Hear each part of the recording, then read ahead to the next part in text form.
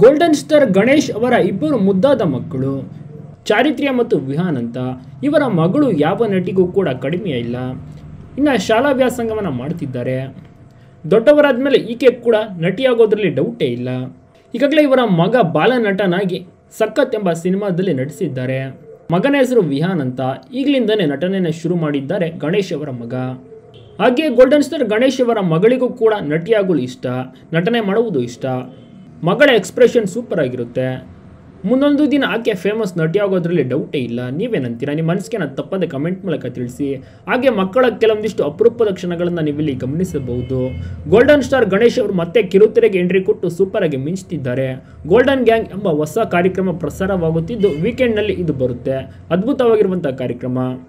ಕಳೆದ ಬಾರಿ ಮುಂಗಾರು ಮಳೆಯ ಸ್ಟೋರಿಗಳನ್ನೆಲ್ಲ ನೀವೆಲ್ಲರೂ ಕೂಡ ನೋಡಿರ್ತೀರಾ ತುಂಬಾ ಎಂಜಾಯ್ ಮಾಡಿರ್ತೀರಾ?